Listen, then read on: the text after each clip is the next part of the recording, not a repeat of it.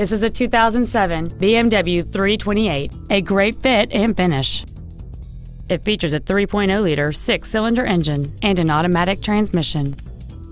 All of the following features are included. High-intensity discharge headlights, dual power seats, cruise control, a CD player, a leather-wrapped shift knob, BMW individual composition, front side impact airbags, air conditioning with automatic climate control, a rear window defroster, and the rain sensing windshield wipers can turn on automatically if their sensor identifies water on the windshield.